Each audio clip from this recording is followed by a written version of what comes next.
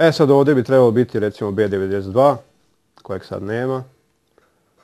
Ovdje je Fox. Ovdje je Avala. Ovdje je Pink. Mislim, trebao bi biti. Ali od toga ništa.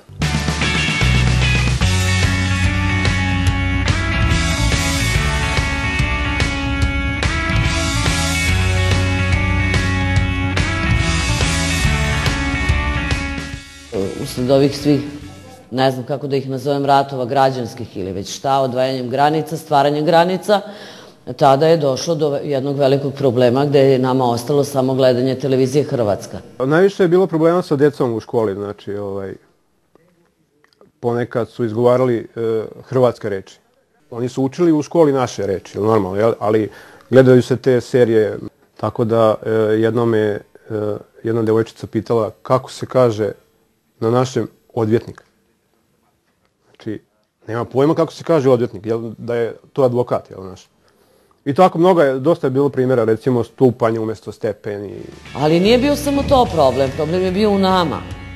Iako sam se ja u početku trudila da prevodim na srpski kad, ovaj, kad je titlovano na televiziji ako je neki film, ali posle sam se saživala sa tim tako da više ni sama nisam prevodila, ali sam recimo sebe uhvatila pošto sam dugo godina bila odbornik u Skupštini opštine Beočin, da sam ja lično upotrebila hrvatsku reč, jer mi je tog momenta prvo ona pala na pamet, nego da mi padne srpska reč.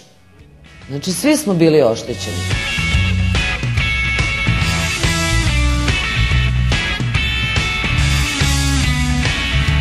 Mislim da je trenutno Svilo Šokićen sa antenama, o satelitskim, tako da u suštini negde 80% ljudi gleda televizor preko satelita. Sada se dobro snalazimo kad, od kako digi gledamo, na primjer. A rani ono, posle rata, recimo, kako je porušena ta antena, to je od to doba ne gledamo uopšte, nismo ovdje gledamo. Stalo smo gledali Hrvate i to jako loš program bio. A dobijemo da plaćamo. A o, o situaciji u zemlji to da ne govorim, mislim, ništa nismo znali. Jedino kupimo neko, neko šampo, novine, to je jedino. Ali ovako da više smo znali situaciju u Hrvatskoj nego kod nas. Zašto da plaćamo kad gledamo Hrvatsku? Naravno da nije fair.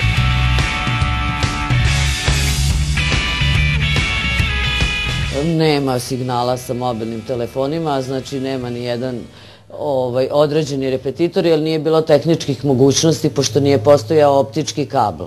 Kao što vidite, evo, naš šef mesne kancelarije ovde u Svilošu, Vuković Jovan, drži jedan jedini fiksni telefon, a to vam je ovako 21. vek.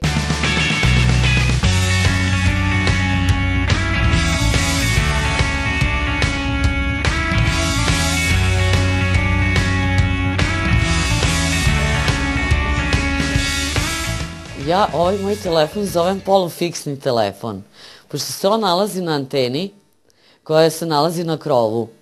I kada sam tražila da kupim neki drugi telefon, onda su me deca gledala u prodavnici pa su me pitali šta je to Jacksona i šta ja to tražim, pošto to, o, takvi telefoni se više ne prave da može da se stavi ova Jacksona i da može ovako da se razgovara i pretežno po kućama, dosta nas imamo ovakve telefone stare, što deca danas zovu ciglje, ali evo, to je nama jedini, jedini spas da možemo da kontaktiramo sa, sa svojim.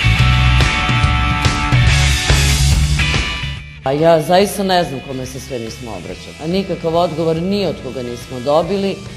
E, jednostavno, čak često puta sam umela da kažem da su nas svi zaboravili, osim kamionđija koji nam uništavaju selo.